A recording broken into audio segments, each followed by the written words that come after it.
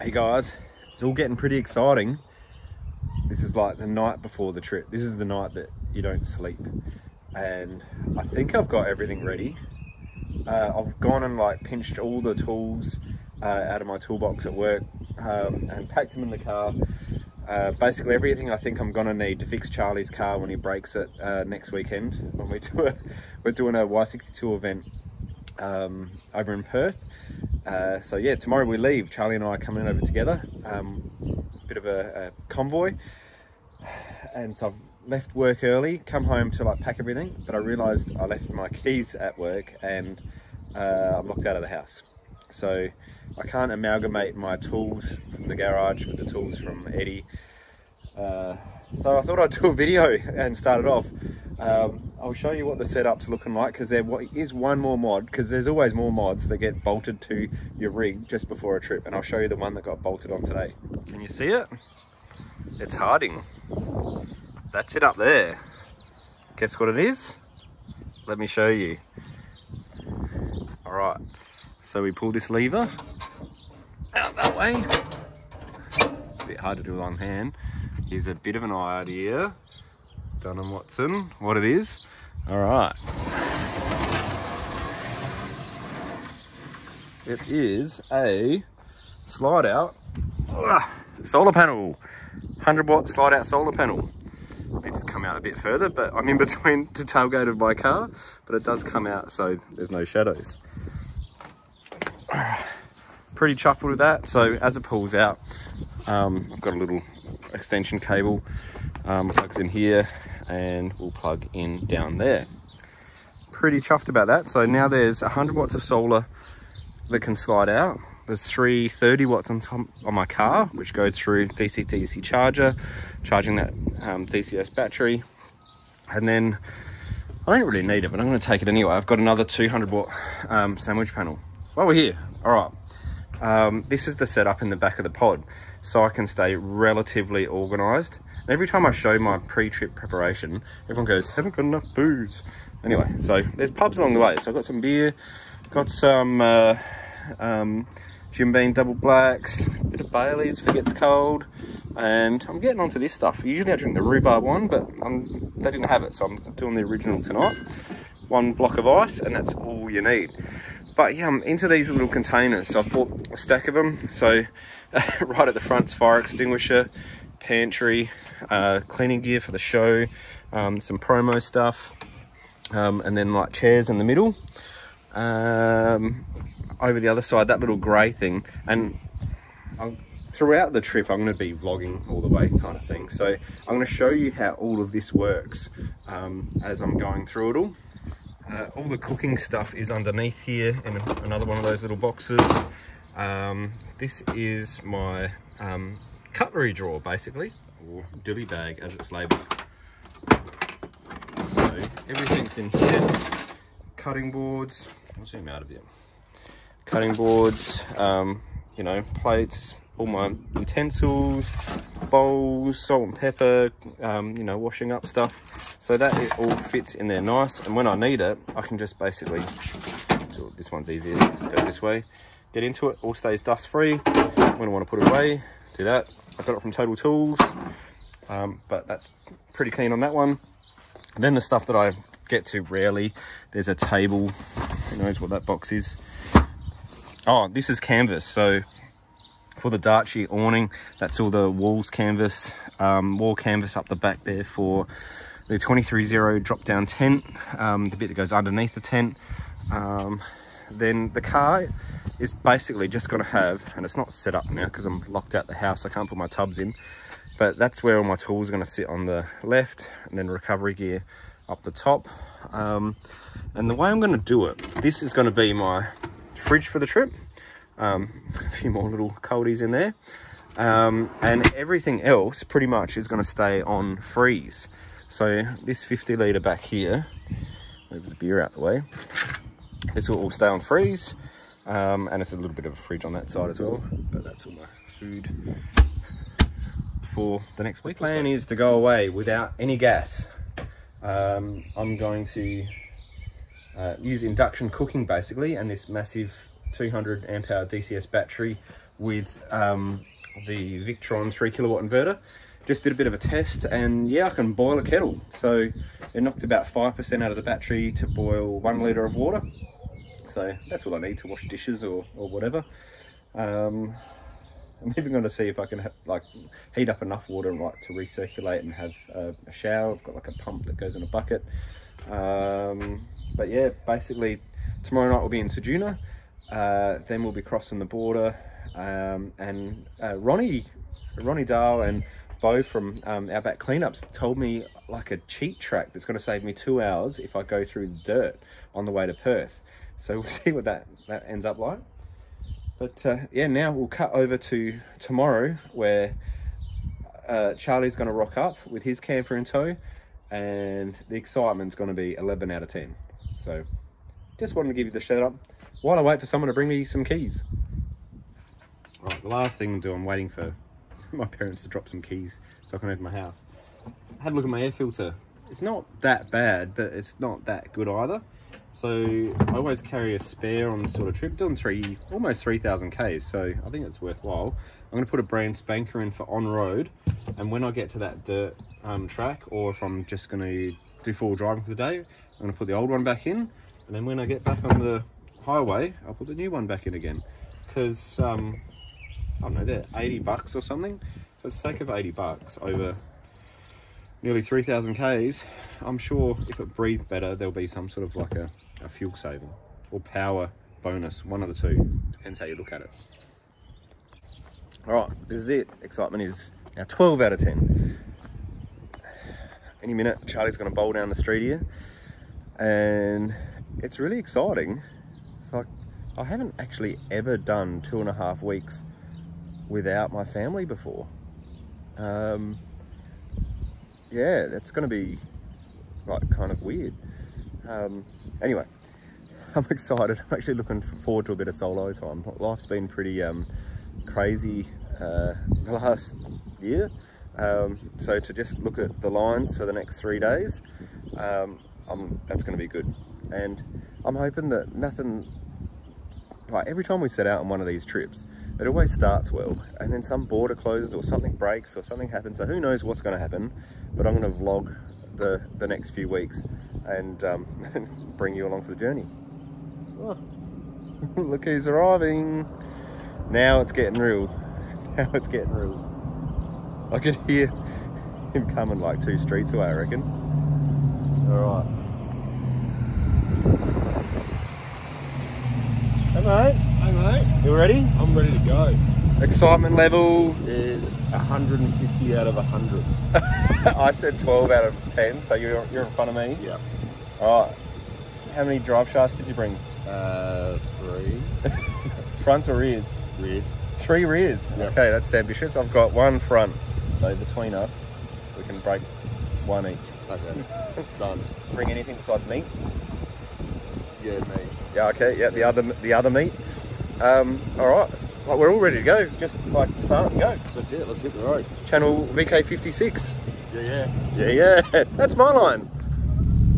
All right, she's real now.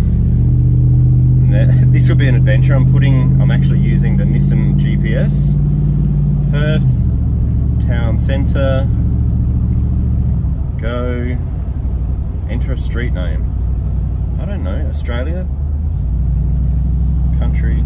Here we go, destination set to Perth. Oh, better go on a straight line. Okay, start. 2,645 kilometres. Arrival 8.25 a.m.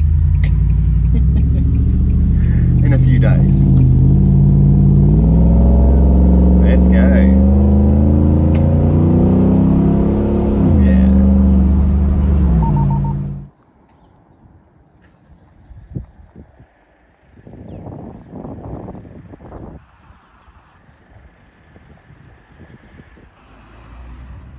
It's at that time that we need to uh, get the travel buddies going. Pies have just been thrown in. And for anyone that doesn't know South Australia, look, we found the Loch Ness Monster. Can I zoom in? No, I can't. I'll turn it around so you can see. Is Lockie at Lochiel. Ness, Loch Ness Monster.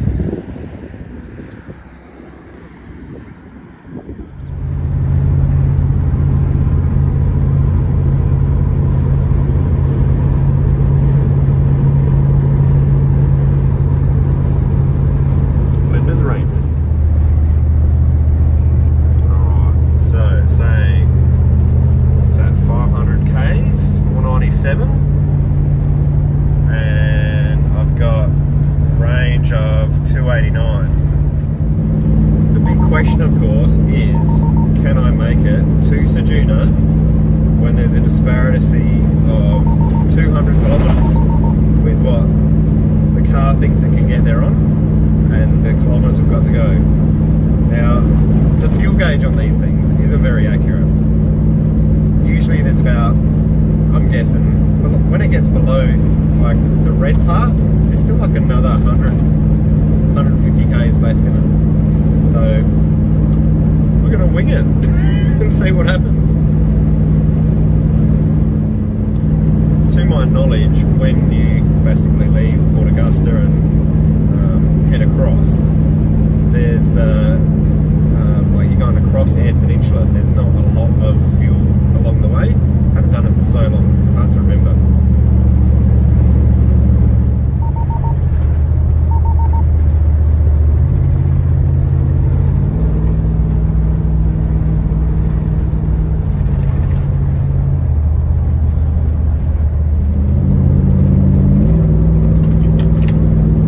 Right, so update, we've just hit a quarter of a tank left and uh, it's saying range is 142 kilometres uh, and Nissan says that we are 334 kilometres from Ceduna, our uh, intended stop. We're not holding back, like we're doing the speed limit and we're slowing down for hills or any of that sort of stuff. So, range is 140. I reckon the speedo or the dash or whatever instruments um, underestimates by 100 to 150 kilometers. So my 140 is actually closer to 300, 290, I think. That's pushing it. 290, and it's 333 to Ceduna. Do we push it? Do you have a jerry can on the back? uh, on the camper if need be. But it's uh, I've never pushed it that far before, so I'm just gonna see if I hold my nerve and whether we can like make it or not. Keep watching.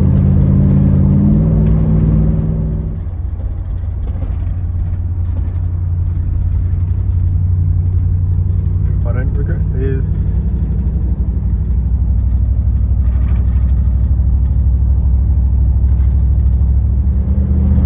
right to the next town, Kyancutta or something like that, is 88 kilometres, and it says we've got a range of 111. That's heaps. I think when we get there, we'll make a call whether we're going to shoot for the moon or not.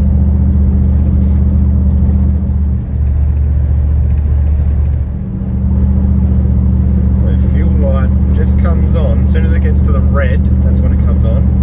And general consensus is when that comes on, there's 40 litres left in the tank. So if I'm doing approximately 20 litres per 100, I should have 200 k's left. But it's telling me that there's 110 kilometres left in the tank. It's 288 to Ceduna. Be a stretch.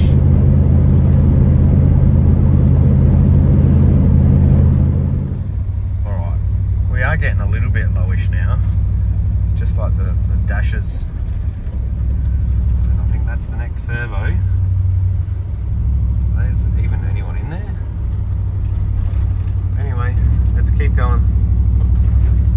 Let's see how far is it to the next town. Minnipa, Ceduna. Alright.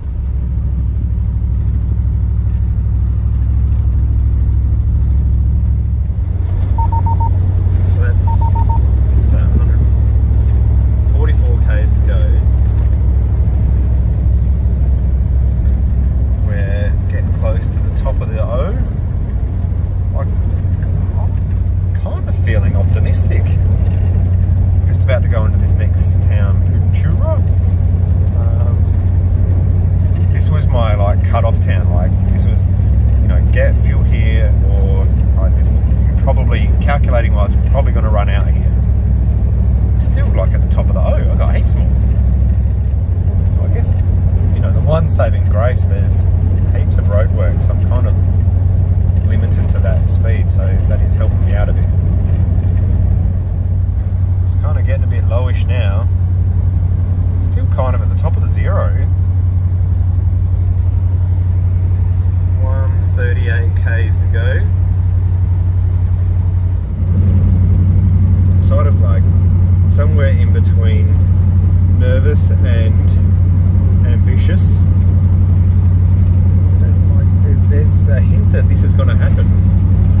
Before, I, you know, I was pitching it from thinking back to the video, and I thought, no way is this going to happen. It might happen. Um, so, what's your guess? What kilometres left or uh, fuel litres in? We'll go, we'll go kilometres left. I reckon you got 45.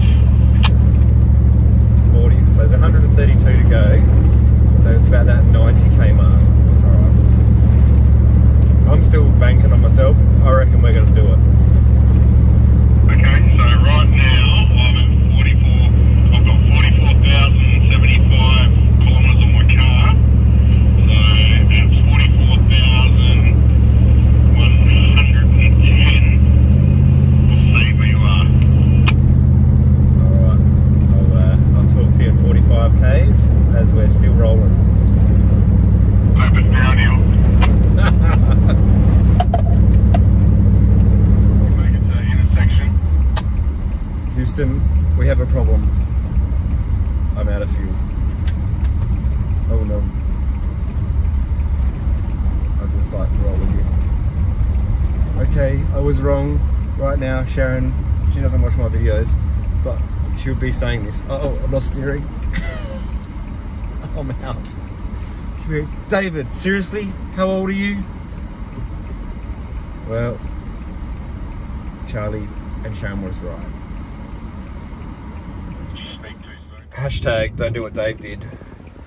I swear, like the needle stopped moving. I've had it lower than that before. I think I, it stopped between the red and the zero and just didn't do anything. I've had it below that before. Oh no. Oh no. Oh no.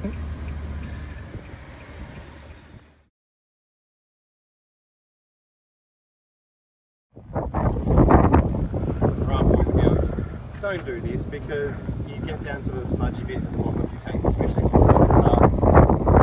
But uh, yeah, again, don't do what Dave does.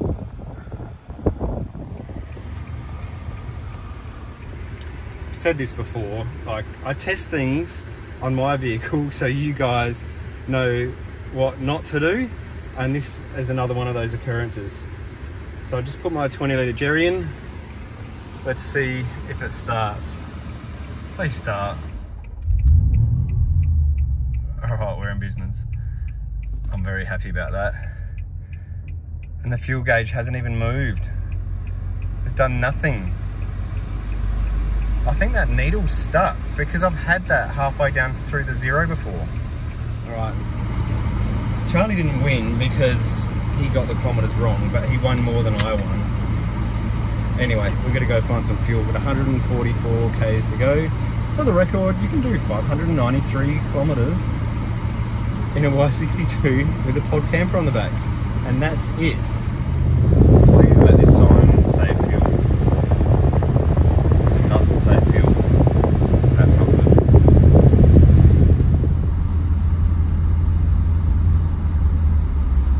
There it is. I don't think I've ever been so happy to see a petrol station. Even if it is 91. There's a servo in front of us, mate.